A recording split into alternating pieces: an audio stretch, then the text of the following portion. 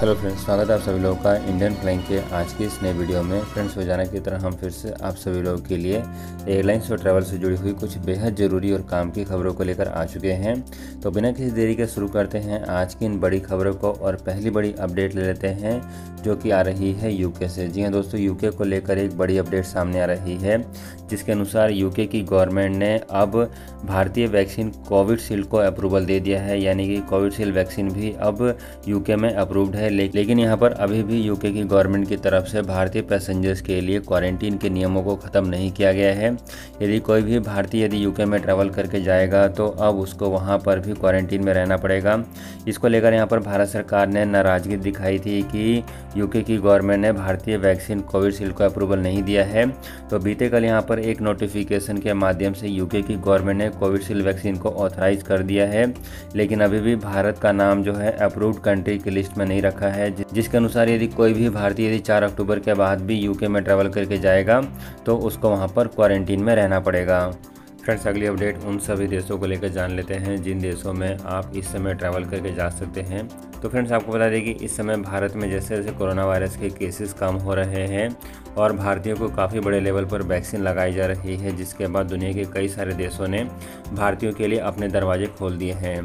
बात करें यहाँ पर कौन कौन से देशों में आप ट्रैवल करके जा सकते हैं तो यहाँ पर इस लिस्ट में जो देश शामिल है, उसमें यूनाइटेड स्टेट्स है, इसके अलावा इस लिस्ट में यूके है, फिर कनाडा थाईलैंड इसके अलावा यहाँ पर और भी कई सारे देश हैं जिनमें है यूएई और Spain, Maldives, Germany, Turkey, friends, ये सारे देश हैं जो कि अभी हाल फ़िलहाल में ही भारतीयों के लिए अपनी फ़्लाइटों को खोले हैं।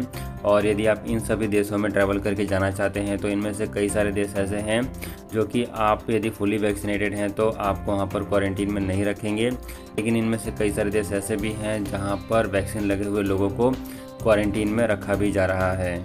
फ्रेंड्स, आपको बता दें कि यहाँ पर सभी देशों की तरफ़ से ट्रैवलिंग के नियम अलग अलग लागू किए गए हैं। यदि आप इन देशों में ट्रैवल करके जाना चाहते हैं तो एक बार आप ट्रैवल करने से पहले उन देशों उन देशों के ट्रैवलिंग के नियमों को एक बार ध्यान से पढ़ लें। फ्रेंड्स, आगे बढ़ते हैं और अगली अपडेट यहाँ पर मलेशिया को लेकर जान लेते हैं। आप में से कई सारे लोग मलेशिया को लेकर सवाल पूछ रहे थे। तो यहाँ पर आपको बता दें कि अब जो मलेशिया की गवर्नमेंट है, वो दुनिया के लगभग सभी देशों के टूरिस्ट लोगों को मलेशिया में आने की अनुमति दे रही है।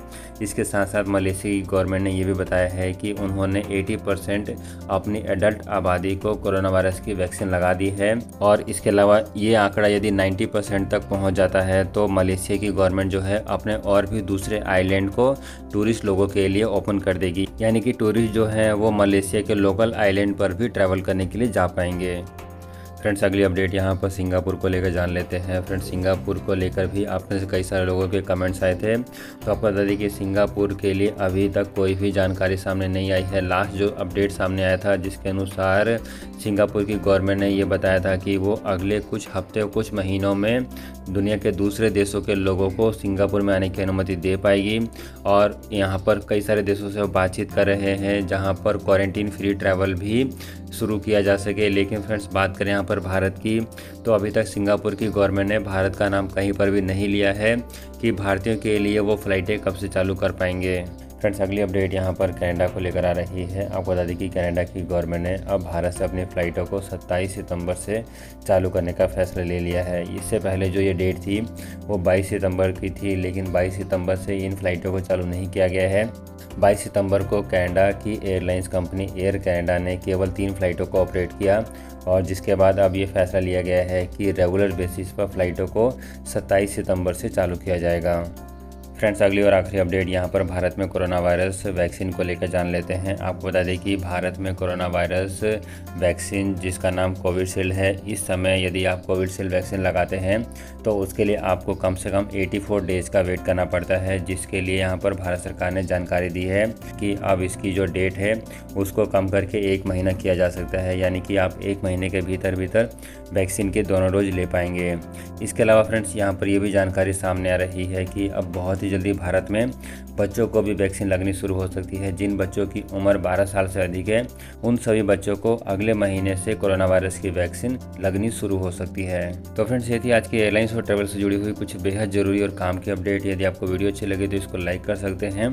चैनल को सब्सक्राइब कर लें ताकि आपको ऐसी लेटेस्ट खबरें समय पर मिलती रहे।